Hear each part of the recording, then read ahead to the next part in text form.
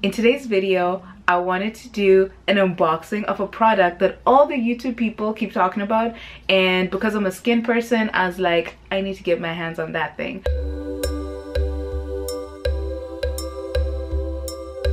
I finally ordered this thing. So you guys, I'm talking about the Vanity Planet Ultimate Spin Brush. This is basically it. It came in obviously just a normal envelope. So it is the Ultimate Skin Spa Facial Cleaning System. I'll summarize what it says on the box. This spa brush has uh, three detachable heads. One is a cleansing one, the other one's exfoliating, and then the other one's a silicone uh, face brush. So obviously depending on what you need you use whatever is appropriate. It removes hard to get makeup and sweat. It strips away dirt and dead skin. It has a dual speed and a rotating head travel case and then it's also powered with AAA batteries.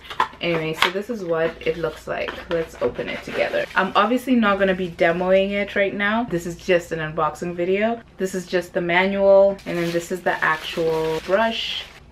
That's what it looks like. Ooh, it looks very fancy. It looks like that when you open it.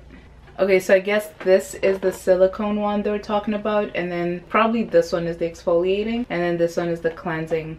The bristles are very soft, fits in your hand pretty nicely. So all you have to do is just pull the head um, and take it out that way and I guess the batteries would go here so it's just a simple latch. Okay, so I decided to put the batteries in. It kind of looks like it's wobbling so I don't know if that means that it's not dirty, but that's the first speed. And that's the second speed.